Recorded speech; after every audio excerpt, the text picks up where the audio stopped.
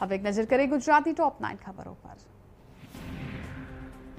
રાજ્યમાં કોરોનાના કેસમાં સતત ઘટાડો થઈ રહ્યો છે છેલ્લા ચોવીસ કલાકમાં ત્રણસો ત્યાંશી નવા કેસ બેના મોત છસો ચોસઠ લોકો સાજા થયા છે સૌથી વધુ કેસ અમદાવાદમાં એકસો સત્યાવીસ વડોદરામાં ઓગણએંશી, રાજકોટમાં તેતાળીસ, સુરતમાં બાવીસ, ગાંધીનગરમાં પંદર કેસ નોંધાયા છે। રાજ્યમાં એક્ટિવ કેસની સંખ્યા ત્રણ હજાર એકસો સત્તાણું। વરસાદી ઋતુમાં અમદાવાદીઓ માટે ચિંતાજનક સમાચાર સામે આવી રહ્યા છે. શહેરમાં પાણીજન્ય અને મચ્છરજન્ય રોગોનો આંકડો દિવસે દિવસે વધી રહ્યો છે. જો આંકડો, આંકડા પર નજર કરીએ તો ચાલુ મહિનામાં મેલેરિયાના સત્યાસી કેસ નોંધાયા છે, જ્યારે ડેન્ગ્યુના છોતેર, ચિકનગુનિયાના અગિયાર ઝાડા ઉચીના પાંચસો એકવીસ, કમળાના એકસો નવ ટાઇફોના એકસો બોતેર કેસ નોંધાયા છે. સમગ્ર ડ્રગ્સ ફેક્ટરી કેસમાં મહેશ વૈષ્ણવ મુખ્ય સૂત્રધાર છે. મહેશ જ એ વ્યક્તિ છે જેણે ડ્રગ્સ બનાવવા માટે રાકેશ નામના વ્યક્તિને કહ્યું હતું અને સામગ્રી આપી હતી. રાકેશ અને અન્ય ત્રણ વ્યક્તિએ મળીને જ ભરૂચમાં વેન્ચર નામની કંપની ઊભી કરી હતી. ભરૂચની આ જ કંપનીના વર્ષની શરૂઆતમાં ડ્રગ્સ બનાવવામાં આવ્યું હતું. ડ્રગ્સને સાવલીની નેક્ટર કેમ કંપનીમાં સંતાડવામાં આવ્યું હતું. વડોદરાના સાવલીમાં એટીએસની રેડ બાદ ડ્રગ્સ ફેક્ટરી મામલે એક બાદ એક ખુલાસાઓ થઈ રહ્યા છે. સમગ્ર કેસને લઈને એટીએસે અનેક મામલે ખુલાસો કર્યો છે.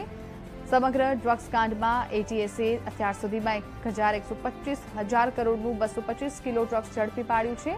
આ મામલે કુલ ચાર આરોપીની ધરપકડ કરાઈ છે. બંને આરોપીને કોર્ટમાં રજૂ કરતા કોર્ટે છવ્વીસ ઓગસ્ટ સુધી રિમાન્ડ પર મંજૂર કર્યા છે.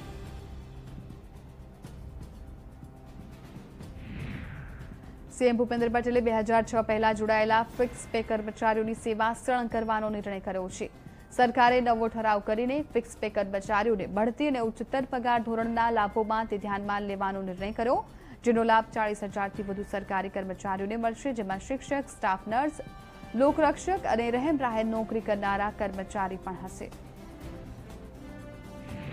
ડૂબતી કોંગ્રેસને બચાવવા માટે રાજસ્થાનના સીએમ અશોક ગહેલોત, ગુજરાત પ્રવાસે અશોક ગહેલોતે કહ્યું, ગુજરાતમાં અન્ય પાર્ટીઓ ભલે લડવા આવે, પરંતુ ભાજપ અને કોંગ્રેસ વચ્ચે જ ચૂંટણી જંગ જોવા મળશે. ગહેલોતે લોકસભા, વિધાનસભા નિરીક્ષકો, તાલુકા જિલ્લા પ્રમુખો સાથે બેઠક કરી, ધારાસભ્યો અને સિનિયર આગેવાનો સાથે પણ બેઠક યોજી હતી. મુખ્યપ્રધાન અશોક ગહેલોતને કોંગ્રેસના રાષ્ટ્રીય પ્રમુખ બનાવવાની માંગ કરવામાં આવી. કોંગ્રેસના નેતા ભરતસિંહ સોલંકીએ કહ્યું અશોક ગહેલોતને કોંગ્રેસના રાષ્ટ્રીય પ્રમુખ બનાવવામાં આવે. લોકસભાની ચૂંટણી કોંગ્રેસ ગહેલોતની આગેવાનીમાં લડે. સપ્ટેમ્બર મહિનામાં ઓલ ઇન્ડિયા કોંગ્રેસ કમિટીના પ્રમુખની ચૂંટણી થશે.